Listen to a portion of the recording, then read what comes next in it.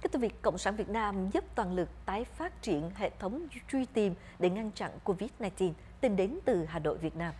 Nhà cầm quyền Cộng sản Việt Nam bắt đầu xét nghiệm coronavirus hàng loạt tại Hà Nội, cấm các cuộc tụ họp ở trung tâm kinh tế và kêu gọi hàng chục ngàn du khách trong nước báo cáo với nhà cầm quyền vào thứ Năm ngày 30 tháng 7. Đây là lần đầu tiên dịch bùng phát lại tại Việt Nam sau 100 ngày.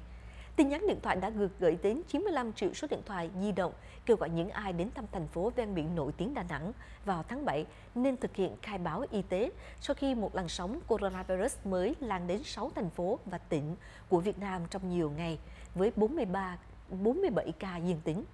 Thưa quý vị, Hà Nội bắt đầu xét nghiệm khoảng 21.000 cư dân vừa trở về từ Đà Nẵng. Đây là một nơi nghỉ mát có sức hút lớn đối với du khách trong nước kể từ khi các hạn chế được nới lỏng.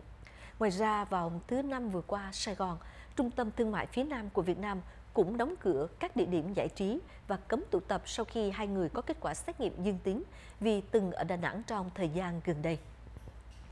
Quý vị thân mến, để so sánh vòng thứ năm tuần trước, nước láng giềng Philippines đã báo cáo gần 4.000 ca mới trong một ngày.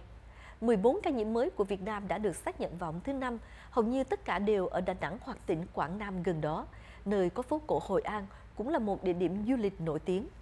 Một lịch đóng cửa nghiêm ngặt đã được áp đặt tại Đà Nẵng và các chuyến bay chở hành khách bị dừng trong 15 ngày, kính thưa quý vị.